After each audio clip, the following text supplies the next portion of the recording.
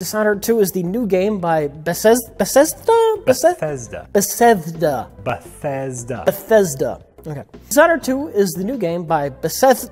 Bethesda. Bethesda.